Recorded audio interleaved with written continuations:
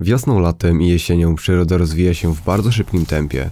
Jest to czas eksplozji, dźwięków, zapachów i barw. Niezwykła woń i zróżnicowana kolorystyka kwiatów są cudowne. Polany nimi usłane wyglądają spektakularnie.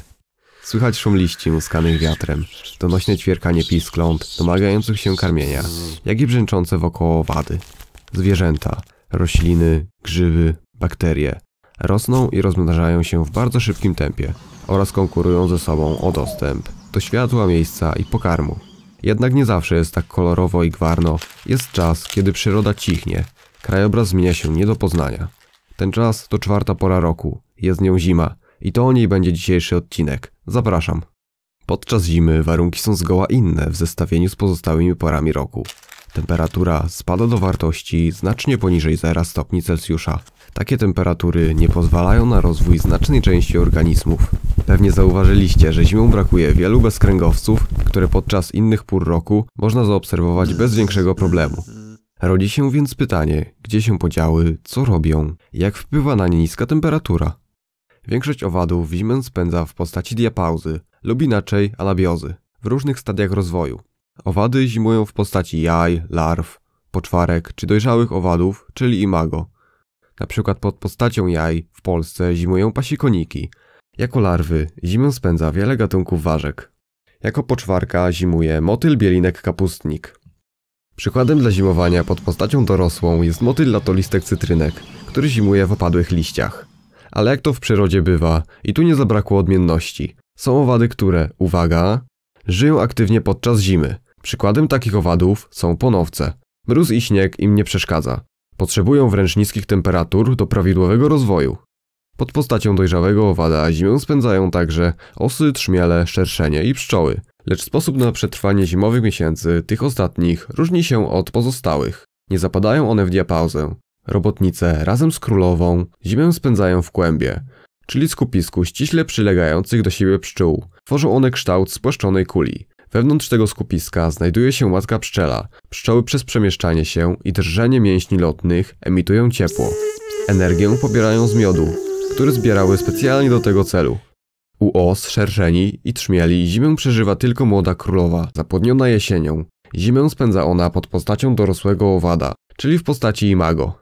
Jest to czas, który królowa spędza samotnie, lecz są też wyjątki. Przykład u klecanek, czyli u os społecznych, młode królowe często zimują w grupach, nawet do kilkudziesięciu osobników.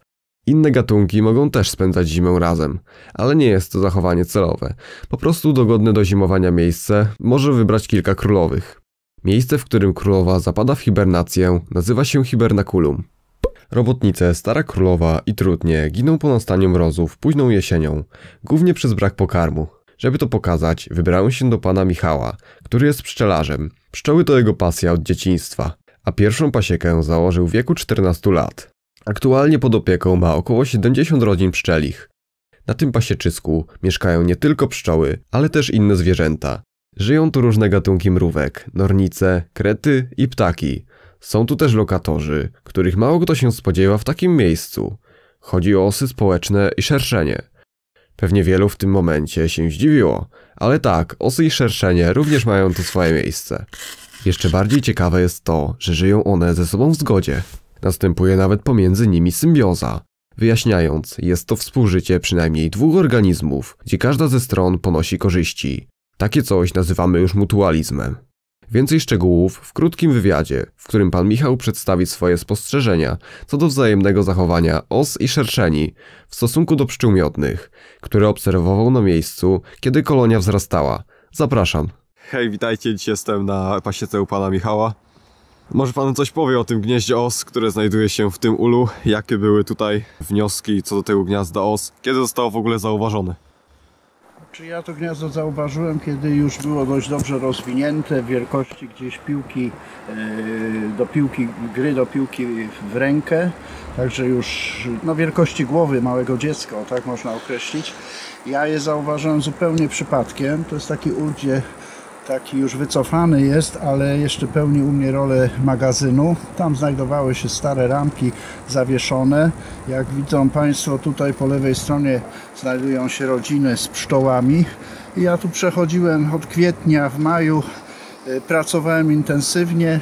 Także w tym czasie już osy były i zauważyłem, że wlatują tam do środka gdzieś tak y, w, w, połowie maja chyba, już nie pamiętam dokładnie, ale to była już wiosna zaawansowana. Wydawało mi się, y, poszedłem sprawdzić, bo mówię, może zostawiłem jakąś ramkę z pokarmem i osy po prostu przeleciały po ten pokarm. No i moje zadziwienie było wielkie, kiedy znalazłem tam gniazdo już ładnie y, ukształtowane. Bardzo mi się spodobało i, i tak to y, zaczęło się z tym gniazdem. Dlaczego była decyzja o pozostawieniu gniazda? No zdecydowanie pozytywna.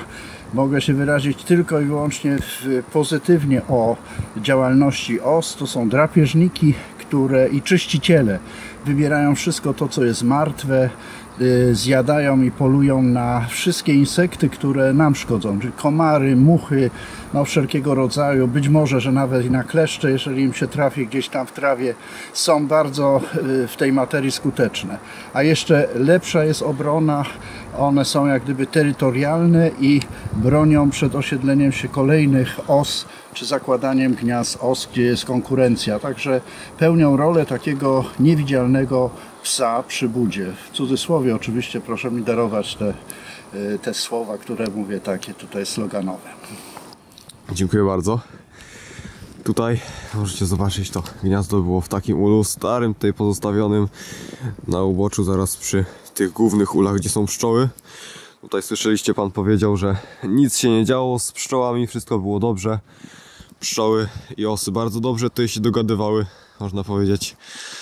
Taka symbioza tutaj nastąpiła pomiędzy nimi. Podchodziły pod ule i wyciągały, e, po prostu zabierały martwe pszczoły spod uli, tym samym pomagając pszczołom w utrzymaniu czystości pod gniazdem.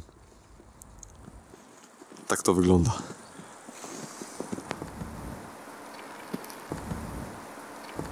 Jeszcze taka bardzo ważna e, sprawa, obserwacja interakcji między pszczołami a osami.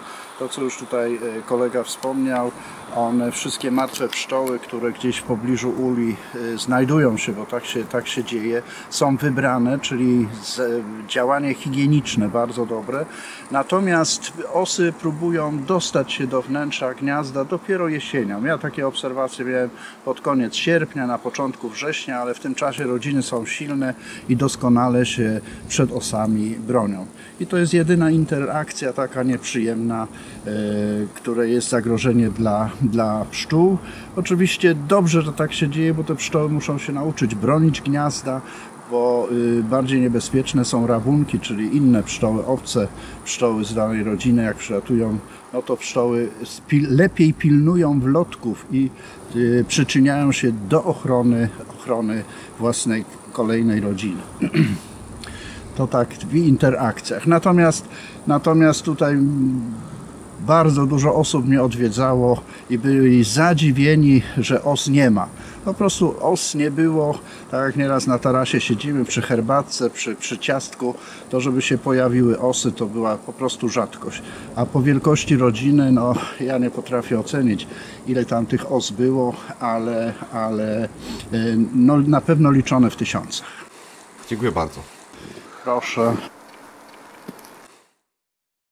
Niektóre gniazda mogą być aktywne aż do stycznia. Tyczy się to niektórych gatunków os społecznych, mianowicie osy dachowej i osy pospolitej. Co ciekawe, w Niemczech, gdzie panuje łagodniejszy niż w Polsce klimat, kolonie os społecznych tych gatunków, a szczególnie osa dachowa, są w stanie przetrwać zimę i w następnym roku stworzyć super kolonię o potężnej liczbie osobników, ale to temat na inny odcinek. Są ludzie zimujący w sztucznych warunkach osy społeczne czy szerszenie. Na bardzo małą skalę, ale jednak ma to miejsce. Mam kilku znajomych, którzy to praktykują. Mieszkają oni co prawda daleko od Polski, bo są m.in. z Włoch, Wielkiej Brytanii, Stanów Zjednoczonych czy Wietnamu. Ale to nie przeszkadza, aby wymieniać się ciekawymi informacjami co do ich hodowli. Zobaczcie kilka ujęć, jak wygląda u nich zimowanie tych owadów w praktyce. Potrzebują one temperatury najlepiej kilka stopni powyżej zera. Wygląda to w ten sposób, że jesienią wybierają najsilniejsze matki, umieszczają je w ciemnym i wilgotnym miejscu, ale nie w tak wilgotnym, żeby woda się skraplała. Więcej w kolejnych odcinkach. Częste miejsca, gdzie zimują królowe, to opadłe liście, próchno drzew, szczeliny w korze, czy też miejsca takie jak składy drewna do kominka, ubrania pozostawione na dworze, jak i złożone parasole. Starają się wcisnąć w każdą szczelinę. Im głębiej się ukryją, tym mają większe szanse na przeżycie. W zależności od tego, w czym zimują, może to być od kilku do nawet kilkudziesięciu centymetrów w głąb.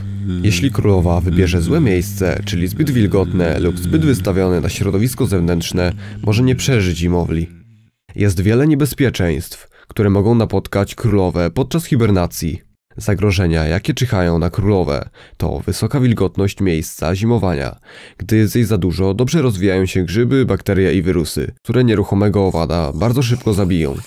Kolejnym zagrożeniem są zwierzęta, które podczas zimy, mając ograniczony dostęp do bazy pokarmowej, znajdując dużą, tłustą i bezbronną królową, bez wahania ją skonsumują. Dlatego królowe chowają się w miejscach niedostępnych. Do zwierząt szczególnie lubiących ten pokarm należą sikorki. Te małe ptaki potrafią bardzo uszczuplić populację os, szerszeni czy trzmieli, a nawet pszczół, choć w tym wypadku zniszczenie sieje również dzięcioł zielony, który by dobrać się do pszczół potrafi zrobić dziurę w ulu.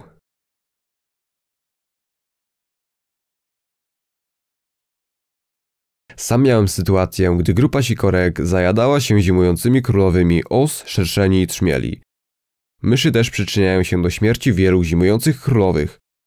Co ciekawe, mroźna zima wcale nie zabija zimujących królowych. Musiała to być bardzo ekstremalna zima, żeby lekko uszczuplić ich populację.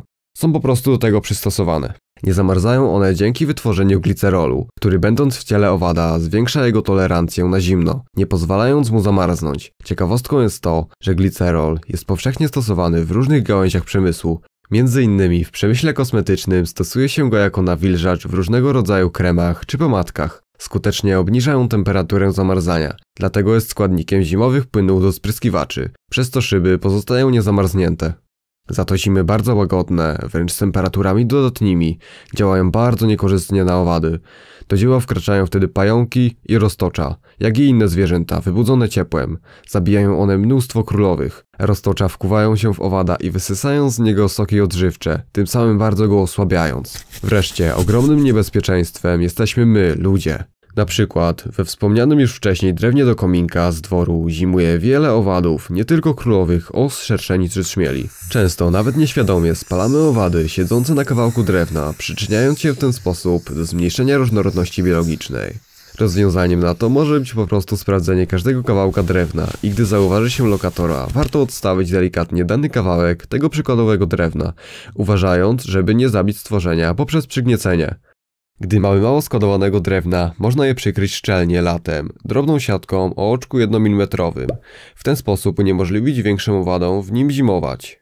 Warto też nie porządkować ogrodu wczesną wiosną. Właśnie przez ogrom owadów i innych zwierząt, które są wciąż poukrywane gdzieś wśród niezgrabionych liści, które gdy słońce mocniej zaświeci, zaczynamy porządkować, zabijając w ten sposób tysiące istnień, które można łatwo ocalić, przesuwając pracę w ogrodzie na nieco późniejszy czas, gdy organizmy opuszczą już swoje kryjówki.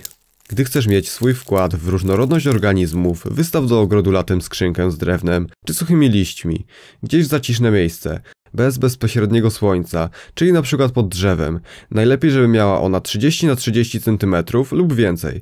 Koniecznie musi mieć ochronę przed deszczem i silniejszymi podmuchami wiatru. Nie może być przestawiana z miejsca na miejsce. Warto ją położyć na kamieniach, lekko wyżej od poziomu gruntu i obsiać kwiatami dla zamaskowania przed wzrokiem. Owady, jak i inne stworzenia znajdą ją bez problemu i będą bardzo wdzięczne za takie lokum na przeczekanie zimy.